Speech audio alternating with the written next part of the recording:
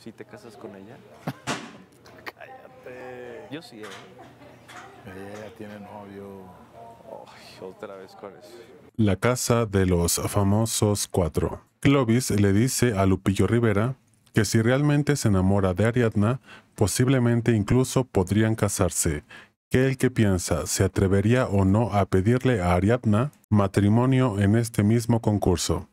Antes de continuar, suscríbete y activa las notificaciones para que no te pierdas de ningún próximo video. Clovis le comentó directamente a Lupillo Rivera que piense bien las cosas, porque si lo ve de cierta manera, si Aleska a él le hiciera caso, él sí estaría dispuesto a casarse con ella.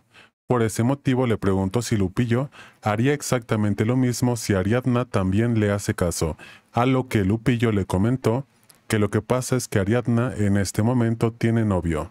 Clovis se molestó porque otra vez sacó ese tema a relucir, y Clovis le mencionó a Lupillo que si tanto le preocupa el novio, entonces que también se vaya de vacaciones con ellos cuando ya estén casados.